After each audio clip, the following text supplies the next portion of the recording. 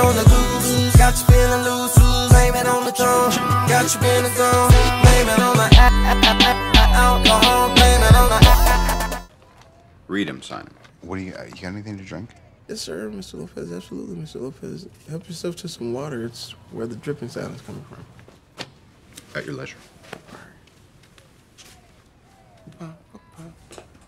Is there a. What's with Neil Diamond? I thought that was you.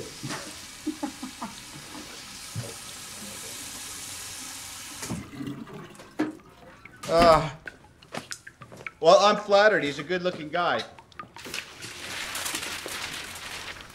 What's wrong? What's this business about me having a schizophrenic? It's, it's, it's legal jargon. It says that I have a schizophrenic mind. I do not. That's not what I think.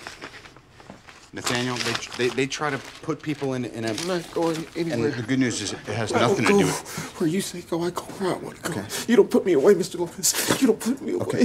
You don't put me away. Chillin'. You good? Good. What up, Juan? Tomorrow, anytime you're ready. Anytime ready? Okay. Jamie, man, What's another cracking? great movie. Man, trying to hang in there, man.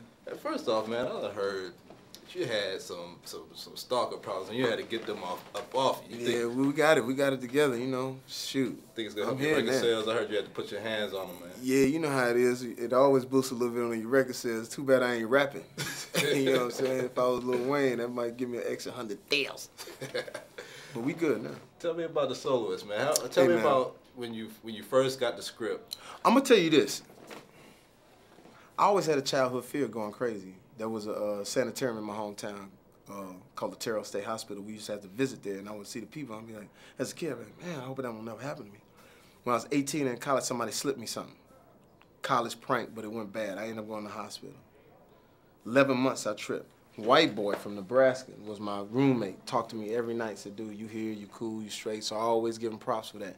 It mirrored exactly what this was about. So when I took the role, I was like, "Man, I need to holler at a psychiatrist," which most African Americans don't do. But uh, he explained to me that I can't catch. I asked him, "Can I catch schizophrenia?" He said, "No, you can't catch it." He said, "But what you've gone through is just a post-traumatic stress thing." So I said, well, I'm gonna use you to pull me out because I want to go into this character deep. And so we did it. Got a chance to meet Nathaniel, which really changed my mind about it because he was really, he was a G about it. He was like, man, I'm not suffering from nothing. This is just the cards I've been dealt.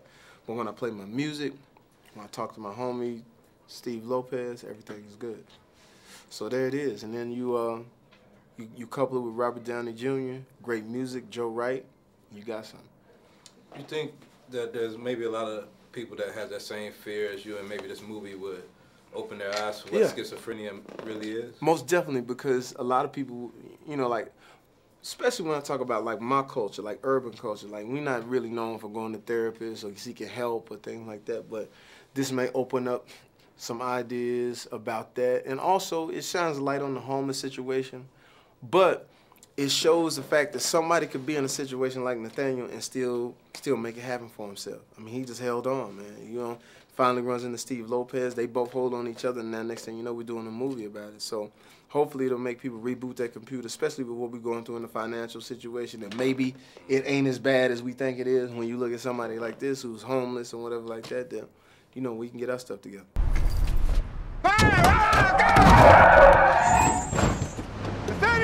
All I'm trying to do is work as hard as I can to clean up the town. They just won't respect it. Beethoven is the leader of the socialists, and I try to tell every one of them, I will have you. No! No! No! I'm not gonna have this nastiness in this tunnel, this degradation. Good.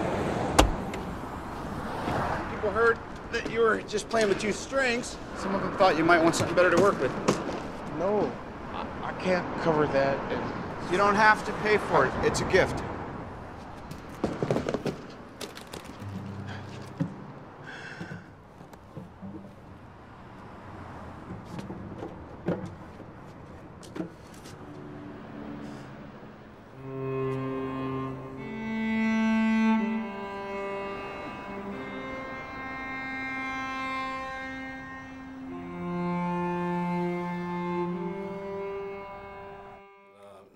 Great musician Yeah, yeah, yourself, thanks. but you had to become a celloist and Yeah, a yeah, yeah. violinist for this movie. What, what was your process? And just to get in the hours of putting it in so so where it made so it made sense so it became like like how I play the piano you know I want it to be second nature but music is always you know is my thing you know even with like what we're doing how we experiencing music now with blame it and what it's doing you know uh, and, and intuition yeah blame it is like this is about to be number one uh, pop now so you know we just you know the music is everything thank you, Jamie. my man.